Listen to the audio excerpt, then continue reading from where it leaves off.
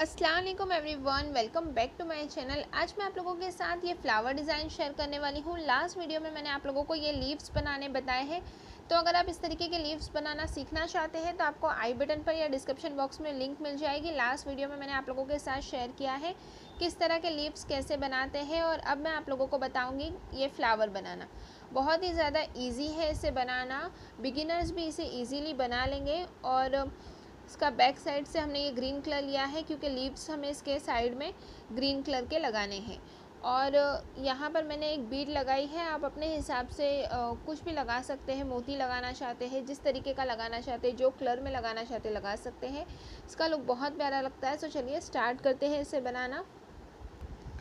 इसे बनाने के लिए मैं दो टाइप के थ्रेड्स लूँगी, ये है Gulera three ply softy cotton yarn और पिंक वाला है Gulera chainette, six ply, cotton yarn तो इन दोनों के हेल्प से हम ये बना लेंगे फ्लावर लीफ के लिए और लीफ आप कॉटन थ्रेड से भी बना सकते हैं, जो स्टार्ट हम ग्रीन कलर से करेंगे और ऊपर पिंक कलर का हम फ्लावर बनाएँगे। और नीडल यहाँ पर मैंने ली है zero number one point seven five M M की। ये दोनों थ्रेड आपको प्रधान एम्ब्रॉयडरी स्टोर्स पर मिल जाएँगे। इनकी परचेज लिंक मैं आपको डिस्क्रिप्शन बॉक्स में दे दूँगी, सो चेक ज़रूर करना। सबसे पहले हम फिंगर पर धागा फोल्ड करके स्लिप नट ले लेंगे।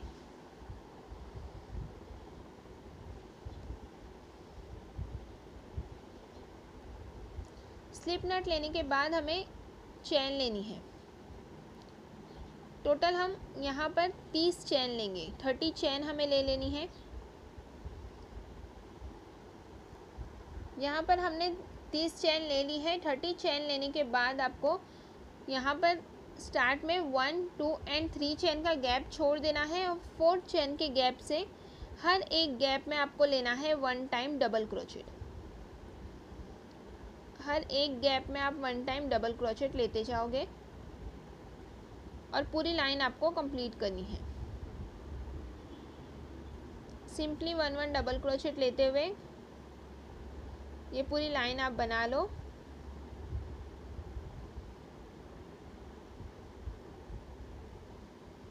तरीके से,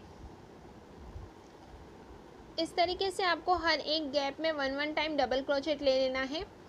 अब हम थ्री चेन लेकर टर्न ले लेंगे नेक्स्ट लाइन स्टार्ट करेंगे।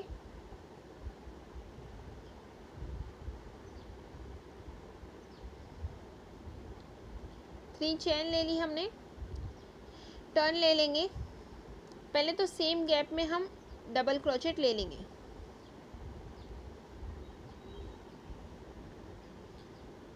ये दो बार डबल क्रोचेट काउंट हो गया। अब नेक्स्ट गैप में भी हम दो बार डबल क्रोचेट ले लेंगे।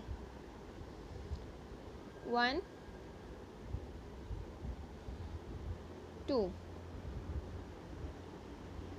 फिर नेक्स्ट गैप में हम टू टाइम्स डबल क्रोचेट लेंगे। हर एक गैप में हमें टू टाइम्स यहाँ पर डबल क्रोचेट लेते जाना है। तरीके से हम ये पूरी लाइन कंप्लीट करेंगे। हर एक गैप में आपको दो बार डबल क्रोशेट लेते हुए ये लाइन कंप्लीट करनी है।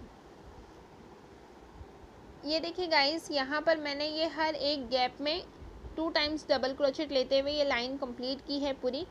जब आप इसे कंप्लीट करोगे तो ये कुछ इस तरीके से राउंड बन जाएगी, इसे सीधा करोगे तो ऐसे फ्रिल आ जाएगी ऊपर। तो ये ऐसे ही आएगी। अब आपको धागा कट कर लेना है और धागा हम चेंज करने वाले हैं। सिंपली आपको टू चैन एक्स्ट्रा लेनी है। और धागा कट करके बैक साइड में ज्वाइन कर लेना है। धागा कट करके बैक साइड में हम ज्वाइन कर लेंगे, उसके बाद में हमें धागा चेंज करना है।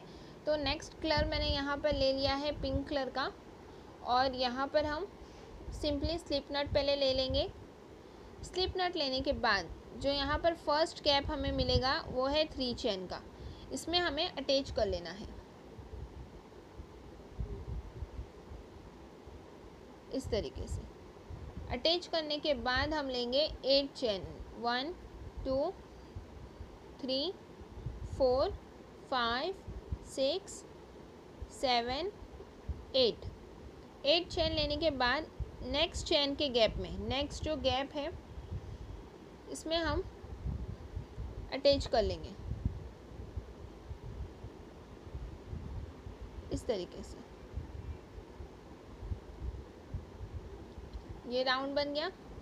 फिर लेंगे हम eight chain one two three four five six seven eight eight chain लेकर नेक्स्ट गैप में हम स्लिप स्टिच ले लेंगे इस तरीके से। फिर लेंगे हम eight chain four five six seven eight फिर नेक्स्ट गैप में धागा लेकर बाहर आएँगे और ये जो नीडल में धागा है, इसमें से भी बाहर आ जाएँगे। और इसी तरीके से हर एक गैप में आपको ऐसे ही बनाते जाना है। पहले एट चेन लेनी है। एट चेन लेकर नेक्स्ट गैप में स्लिप स्टिच ले लेना है। इस तरीके से। अब हम ऐसे ही अब पूरी लाइन कंप्लीट करके आपको बता दें। ये देखिए, यहाँ पर मैंने हर एक गैप में एट चेन अटैच लेते हुए ये लाइन पूरी कंप्लीट कर ली है तो ये कुछ इस तरीके से राउंड हो जाएगा। अब हमें क्या करना है, सेम ऐसे ही जब लास्ट अटैच आपका हो जाए तो टू चेन आपको ले लेनी है एक्स्ट्रा और धागा कट कर लेना है।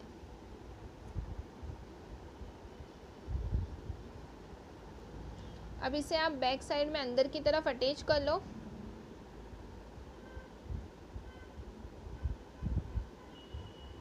एंड फिर जो एक्स्ट्रा धागा है, उसे आप कट कर सकते हैं।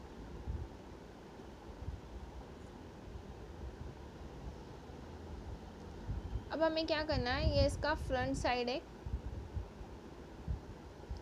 यहाँ से हमें इस तरीके से फोल्ड करना है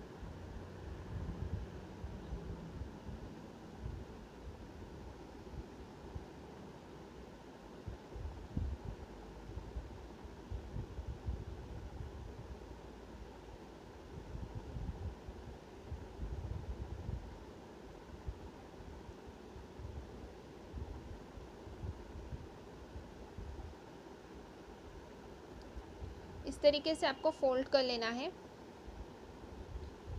और फोल्ड करने के बाद इसका लुक कुछ इस तरीके से लगेगा। अब आपको इस तरीके के एक नीडल लेनी है, उसमें डबल धागा डालकर नट डाल देना है और यहाँ पर आपको अच्छे से लॉक कर लेना है।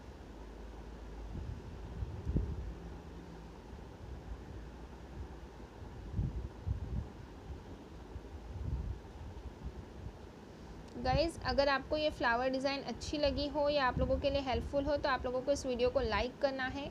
अपने फ्रेंड्स एंड फैमिली के साथ आप शेयर कर सकते हैं, जो बिल्कुल फ्री है। फ़र्स्ट टाइम देख रहे हैं तो चैनल को सब्सक्राइब करें रेड बटन है, उसे क्लिक कर दें और ऑल पर क्लिक करके बेल नोटिफिकेशन ऑन करें।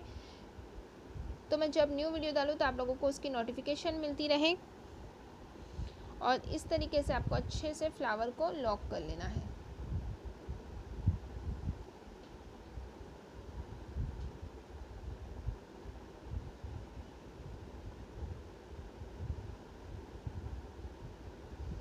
इस तरीके से।